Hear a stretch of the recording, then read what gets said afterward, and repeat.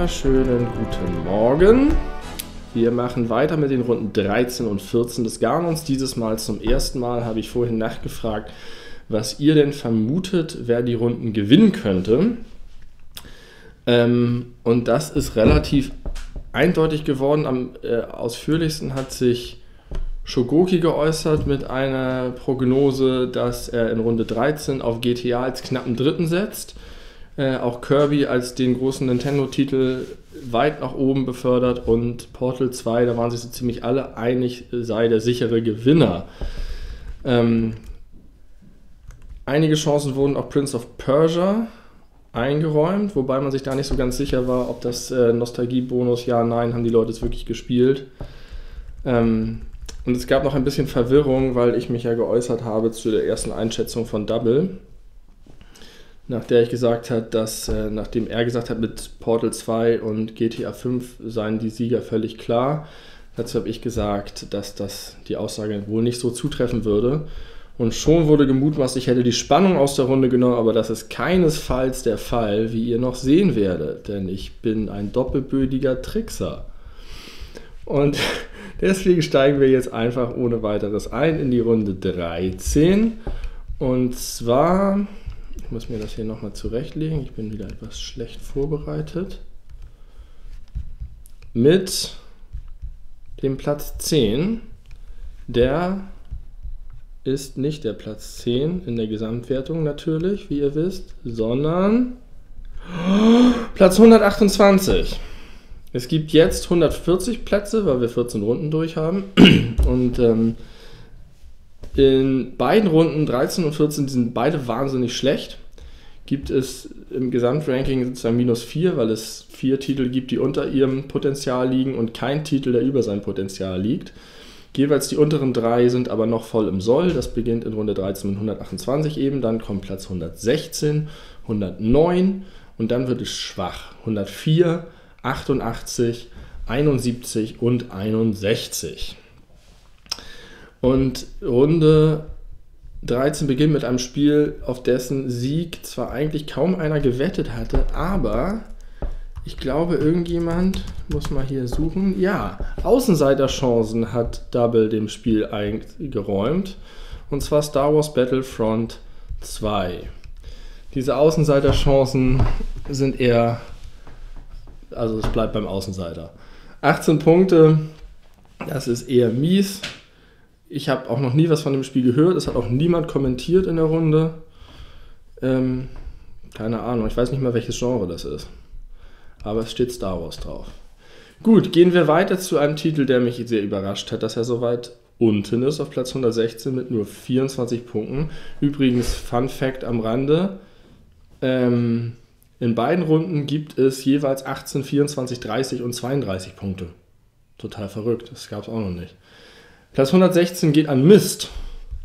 Und Mist hat, ähm, sagte Double, er fand es immer faszinierend, aber ist nie dazu gekommen, es wirklich auszuprobieren. Und ich erinnere mich daran, dass ich als sehr kleiner Junge irgendwo bei irgendjemandem zu Besuch war und der hatte dieses Spiel und schon das Cover hat mich total fasziniert. Und ich habe das Spiel einfach nicht verstanden. Das, das sah ganz anders aus wie jedes andere Spiel, was ich gesehen hatte. Es hatte diese merkwürdige, diese vorgerenderten Hintergründe und war, ich glaube, es wurde mir damals schon verkauft als das Spiel für Erwachsene. Und ich hatte immer ein bisschen Angst vor dem Spiel, weil das so, das war so abseits jeder Norm. Und ich glaube, es ist irgendwie einfach so eine Art Adventure, aber ohne richtiges Hinweissystem. Man ist in dieser Welt und weiß nicht warum. Und das ging offenbar nicht nur mir so, dass sie mit dem Spiel nie irgendwie eine Connection aufgebaut haben. Nur 24 Punkte für Mist auf Platz 116. Und nun kommt auf Platz 109 mit 30 Punkten das Spiel North and South, ein weiterer Klassiker, der mir auch entgangen ist. Shogoki hebt nur den Zweispieler-Modus vor, nur darin sei das Spiel wirklich gut gewesen. Und für Double kamen diese alten PC-Spiele einfach zu früh. Er wertet das als Zeichen seiner anhaltenden Jugend. Ähm, ja, irgend so ein Strategieklassiker. Man weiß es nicht so genau. Nun kommen wir zu den Underachievern. nur etwas weniger, äh, nur etwas ganz leicht besser. Achso, alle drei Spiele bis jetzt keine einzige 10. Keinermanns Liebling. Entschuldigung, ich muss mal kurz hier was vom Monitor kratzen. 32 Punkte und die erste 10 dieser Runde geht an Flashback auf Platz 104. Und Flashback ist laut Shogoki deutlich besser als die Oddworld-Spiele, die im selben Genre unterwegs sind. Ähm, und er beschreibt es als Versoftung von Total Recall. Ich habe das Gefühl, ich habe mir, ich habe das Gefühl, ich kenne das total gut. Diese Screenshots, der, der Stil des Spiels ist ja sehr markant. Ich glaube, es gab kürzlich auch ein Remake oder vor längerer Zeit ein Remake. Sieht gut aus. Weiß ich nicht. Und nun ein Spiel, das sich ein Mitglied unserer kleinen Community sicher sehr viel weiter unten gewünscht hätte. Es gab große Hasstiraden auf das Spiel von Mr. Cuttafee. 44 Punkte hat trotzdem Team Fortress 2 eingeheimst, der spaßige Multiplayer-Arena-Shooter. Platz 88. Das ist, glaube ich, in Ordnung für das Spiel. ähm, und Double entschuldigt sich für seine Punkte bei Mr. Cuttafee. Nun sind es nur noch fünf Spiele und das sind auch die, die ihr vorhergesehen habt, dass sie wahrscheinlich weit oben sind. Also, wir sehen schon mal Prince of Persia nicht nur, einige wussten, waren sich nicht sicher, ob das nicht vielleicht ganz schlimm abschmiert. Nein, es ist unter den Top 5, aber es ist nicht mal auf Platz 5, sondern da ist Borderlands 2. Ähm, das auch überraschend viele Punkte, immerhin 66 Punkte gemacht hat. Platz 71. Ähm, Double hat es nur kurz gespielt und äh, fand es irgendwie uninteressant. Das lag aber seiner Ansicht nach wohl daran, dass er zu viel von dem Erstling gespielt hat. Ähm, DCDT, ich weiß nicht, sagt man das so? Oder ist es DCDT? Wofür steht das? Hat das nicht irgendwas mit Luffy zu tun? Sind das irgendwie die vier Höllenfürsten? Death, Nö, das kann nicht sein. Klär uns doch mal auf über deinen Namen. Auf jeden Fall hätte er fast 10 Punkte vergeben, die er nicht ganz rechtfertigen konnte, aber äh, trotzdem äh, mag er das Spiel sehr. Ein herrlich durchgeknallter Shooter, der im lokalen Multiplayer viel Spaß macht.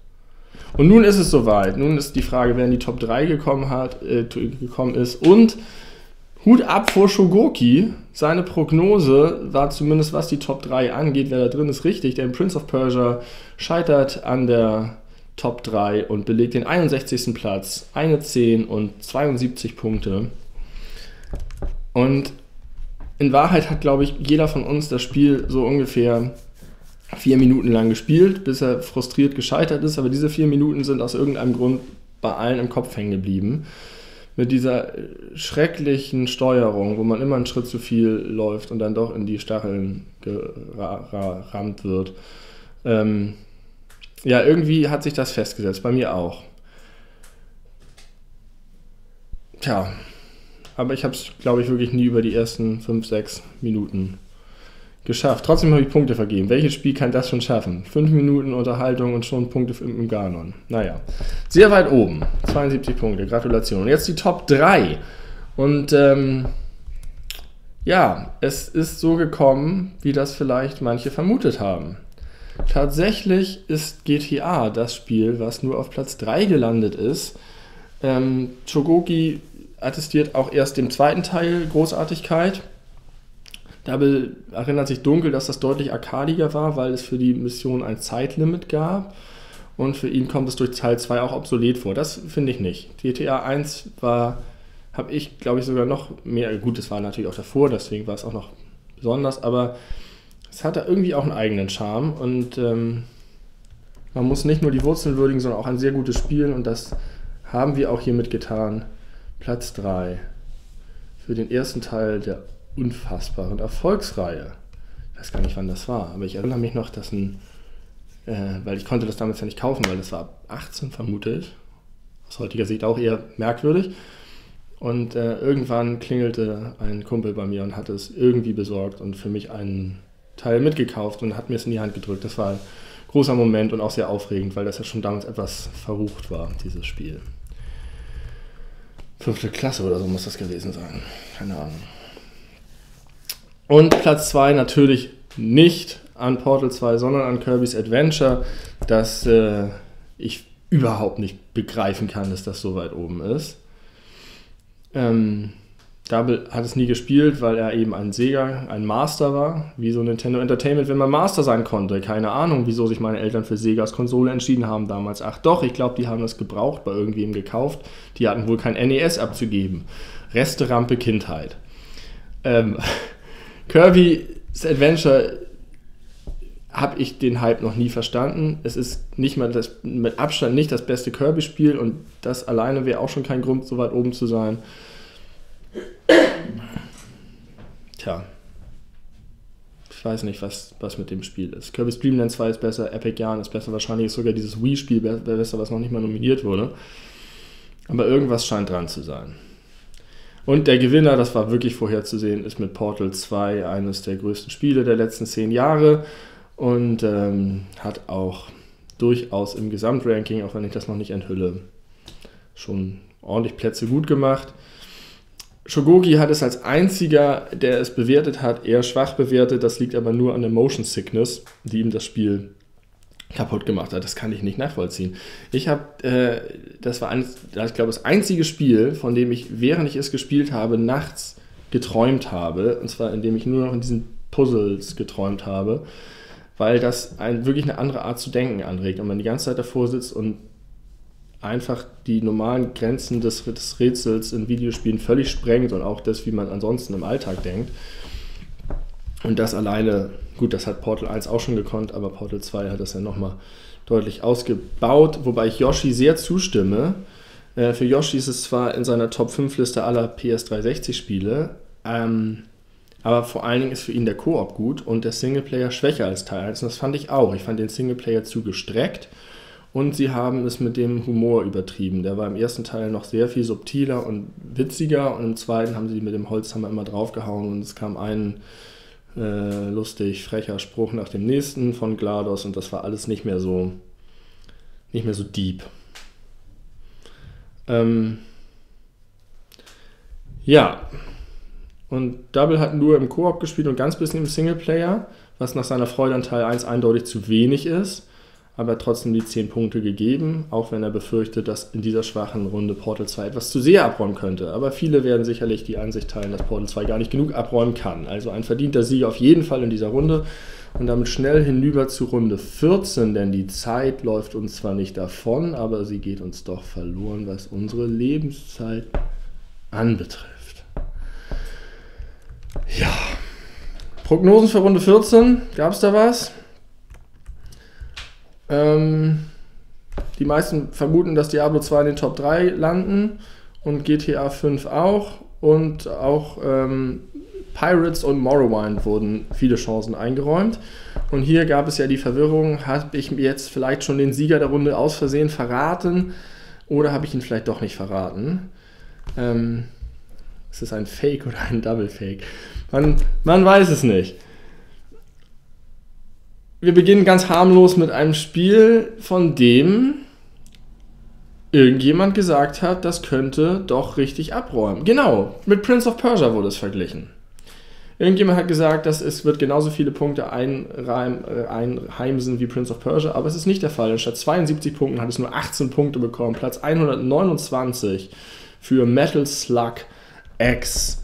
Eine Reihe, die mir vor dem Ganon überhaupt nicht bekannt war, aber so wie ich das verstanden habe, ist es irgend so eine arkademäßige, wir schießen in Comic-Grafik ganz viele Nazis mit viel Blut ab. Könnte sein, dass es Spaß macht. Ich kenne die Reihe, wie gesagt, nicht. Ähm, Double hat eine gute Anekdote dazu. Es kommen nämlich Spielhall Spielhallenerinnerungen auf und das triggert bei ihm eine Erinnerungskette an italienische Sandstrände. Er weiß noch, wie ein Typ im Rollstuhl ihm im Urlaub bei Tekken herausgefordert hat. Der hing da immer rum und hat immer nur Tekken gespielt. Und er war aber mit diesem Typen mit dem Salto-Kick so krass drauf, dass er ihn direkt weggehauen hat. Und das zweite Mal, als er gegen ihn gespielt hat, hat er ihn dann gewinnen lassen. Und uns überlässt er die Moral der Geschichte. Vielen Dank, dass du uns immer an diesen wunderbaren Anekdoten teilhaben lässt. Ich habe gar nicht verkündet, welche anderen Plätze es noch gibt in dieser Runde. Platz 117, Platz 109, Platz 101, Platz 90, Platz 83 und der beste nicht Top 3 Platzierte ist auf Platz 64 gelandet. Die ersten drei, schlechtesten drei wieder ohne 10. Platz 117 geht an den vermutlich in der Community doch noch zu unbekannten Titel The Swapper. Ich glaube, der ist auch erst zwei, drei Jahre alt. Und ähm, da belegt es uns sehr ans Herz. Es ist ein wundervoll mysteriöses Puzzlespiel mit leichten Metroid-Anleihen. Ähm, und wir sollen es definitiv spielen. Es liegt wie 175 andere Titel immer in der Steam-Bibliothek und wartet auf das Jahr 2050. 24 Punkte für The Swapper. 30 Punkte, 109, Platz 109 geht an Daytona USA 2001. Irgend so ein Dreamcast-Rennspiel, was wahrscheinlich nur Nostalgiepunkte bekommen hat, beziehungsweise Soundtrack-Punkte für, wie heißt das? Let's Go Away? Ist das dieses dumm, du dumm, dumm? So, irgendwie so. Lord der Finsternis hat äh, ungespielt dem Spiel nur für den Soundtrack zwei Punkte gegeben. Wahnsinn. Und jetzt ein Spiel, was gerade noch so in den Garnern gekommen ist, weil es eigentlich zu unbekannt war. Es hat 32 Punkte gesammelt und 13 bekommen. Das heißt, es ist ein Spiel, was in der Durchschnittswertung ganz weit oben stehen würde. Äh, 30 von 32 Punkten nur aus volle Punktewertung. Vielleicht sollte es das der eine oder andere nochmal spielen, aber vielleicht sollte er dafür in die Vergangenheit reisen und seine Erinnerung löschen, denn heute schockt das vermutlich nicht mehr so. Es ist natürlich TIE Fighter. Ähm, ich kann mir nicht vorstellen, dass X-Wing vs. TIE Fighter, TIE Fighter und X-Wing in irgendeiner Art und Weise sich unterscheiden. Aber es hat nur dieses eine Spiel überhaupt in den Garnung geschafft. Und es scheint sehr beliebt zu sein. Ähm, bei den paar, die es gespielt haben. Platz 90 geht an das offenbar sehr gute Rollenspiel Alundra. Ähm, dabei musste Google bemühen und stellte fest, dass es ein PlayStation-Rollenspiel ist. Die beste Wahl, wenn man von ihm nicht gespielt werden will. Äh, ja, es erinnert optisch an Terranigma, ein bisschen hübscher und scheint viel richtig gemacht zu haben, denn es gibt eine große Fangemeinde. 40 Punkte, eine 10. Ja, das war die untere Tabellenhälfte. Und nun ist es wieder so, dass die von euch als Favoriten eingeschätzten Spiele ganz oben stehen, denn Platz 5 in dieser Runde, Platz 83 insgesamt wird belegt von Probotector. Eine 10, 48 Punkte. Und äh, ich komme da auch nicht hinterher. Ich verstehe, dass diese ganzen Sidescroller, ob nun Shooter, ob nun zu Fuß oder im Flugzeug, ist alles nicht meins gewesen.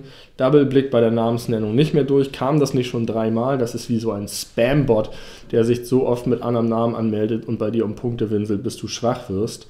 Oder in alle Ewigkeit. Nächstes Mal gibt es nämlich auch wieder null Punkte. So auch von mir, aber genügend andere Leute haben Probotector Punkte gegeben, um sich vom Bodensatz abzuheben. Ja, nun die Frage von diesen vier Top-Titeln, haben es die Außenseiter geschafft, haben es die Favoriten geschafft. Platz 4 und damit knapp gescheitert. Nur 68 Punkte allerdings, das ist für Platz 4 nicht so gut. 2-10, Sid Meier's Pirates. Und die Verwirrung ist groß. Meinen wir jetzt eigentlich das Original oder das Remake? Denn nur das Remake trägt das Sid Meier im Titel. Auch wenn das Original natürlich auch von ihm ist. Ich glaube, das kann sich einfach jeder aussuchen. Wer das Original gespielt hat, gibt dem Punkte. Wer das neu gespielt hat, Gibt dem Punkte. Ich glaube, so viel nehmen die sich nicht, abgesehen von der Grafik. Ein dicker, fetter Klassiker, sagt Shogoki, der auch nicht von im Vergleich protzigen Assassin's Creed Black Flag vom Thron des Piratenspiels verdrängt werden konnte. Wie viele Piratenspiele gibt es denn schon? Und wenn irgendjemand auf dem Piratenspiel Thron ist, dann doch wohl irgendein Spiel aus der Monkey Island-Reihe. Ähm, aber gut, Pirates ist nicht schlecht dabei. Und nun die Top 3. Und das sind die, die ihr auch da oben gesehen habt. Und ähm, manche haben sich gefragt, ob Morrowind überhaupt bekannt genug ist. Denn die Qualität hat es auf jeden Fall, aber ha, ist es nicht schon viel zu alt und kennt das Forum nicht doch eher die Zeit ab Oblivion oder sogar erst ab Skyrim? Nein, Morrowind hat für den, ähm, ich weiß nicht, heißt es Morrowind oder Morrowind? Keine Ahnung. Es hat auf jeden Fall für den dritten Platz gereicht. Ähm, für Shogoki reicht es längst nicht die Klasse der Rollenspiele der Golden Era, aber er mag es trotzdem sehr. Aber für Shogoki kommt sowieso nichts an. Du lebst in der Vergangenheit. So, jetzt ist es mal gesagt. Double ähm, glaubt, dass das Spiel eigentlich mehr die Punkte verdient als GTA 5, aber GTA würde Yoshi mehr ärgern. Der Ganon stellt einen in die unmöglichsten Zwickmühlen.